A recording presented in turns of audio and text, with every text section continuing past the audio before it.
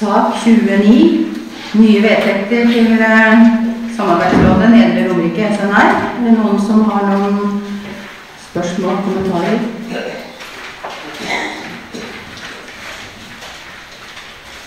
Kan vi gå for rådmannsinnstilling i den saken?